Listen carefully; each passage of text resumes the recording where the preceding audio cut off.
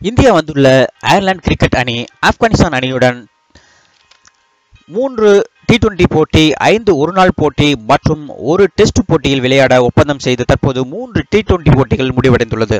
இதில் முதலாவது T twenty போட்டியில் ஆப்கானிஸ்தான் அணி வெற்றி பெற்றது.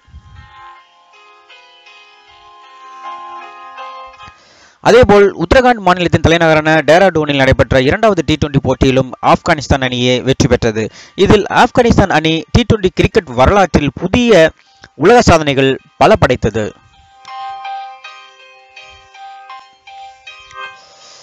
முதலில் பேட் செய்த ஆப்கானிஸ்தான் அணி இருபது ஓவர்கள் முடிவில் மூன்று விக்கெட் இழப்பிற்கு இருநூற்றி எழுபத்தி எட்டு ரன்களை எடுத்து டி டுவெண்டி கிரிக்கெட் வரலாற்றில் புதிய உலக சாதனையை பதிவு செய்தது. மேலும் ஆப்கானிஸ்தான் அணியின் அதிரடி ஆட்டக்காரரான ஹஸ்ரத்துல்லா அறுபத்தி ரெண்டு பந்துகளில் நூற்றி அறுபத்தி ரெண்டு ரன்களை குவித்தார். மேலும் பதினாறு சிக்சர்களை அடித்து டி டுவெண்டி வரலாற்றில் அதிக சிக்சர்களை அடித்த முதல் வீரர் என்ற புதிய உலக சாதனையையும் நிகழ்த்தினார். மேலும் விவரங்களுக்கு நம்முடைய முந்தைய வீடியோவை பார்க்கவும்.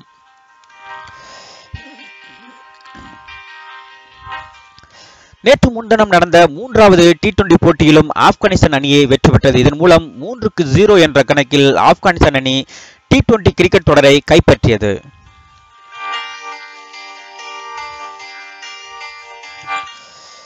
இதில் ஆப்கானிஸ்தான் அணியின் சுழற்பந்து வீச்சாளர் ரஷித் கான் தொடர்ச்சியாக நாலு விக்கெட்டுகளை வீழ்த்தி புதிய உலக சாதனையையும் நிகழ்த்தினார்.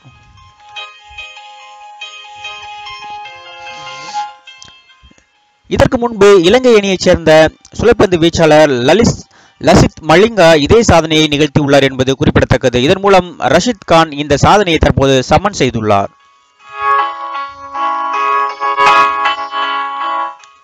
மேலும் இந்த தொடரில் அயர்லாந்திற்கு எதிராக ரஷித் கான் மொத்தம் இருபத்தி நாலு விக்கெட்டுகளை எடுத்து டி டுவெண்டி போட்டியில் ஒரு அணிக்கு எதிராக அதிக விக்கெட்டுகளை வீழ்த்திய முதல் நபர் என்ற புதிய சாதனையையும் நிகழ்த்தியுள்ளார்.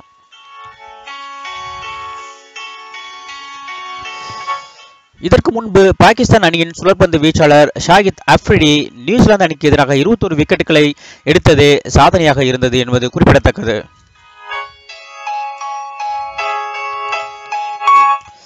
இதன் மூலம் ஆப்கானிஸ்தான் அணி அயர்லாந்து அணிக்கு எதிராக பல வகையான புது புதிய உலக சாதனைகளை நிகழ்த்தியுள்ளது. இதே மாதிரியான சாதனைகள் அடுத்து வரும் ஐந்து ஒருநாள் போட்டியிலும் நிச்சயம் தொடரும் என நம்பலாம்.